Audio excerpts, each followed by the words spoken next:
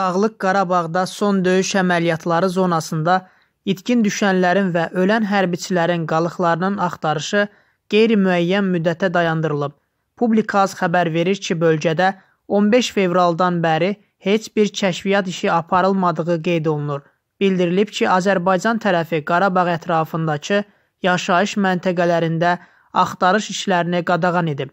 Ermənilərə qadağa ilə bağlı detallı açıqlama verməyə lüzum görülməyib. Xatırladaq ki, münaqişə zonasında atəşkəsin bərqərar olmasından sonra başlayan axtarış zamanı 1485 hərbiçinin cəsədləri və qalıqları tapılıb.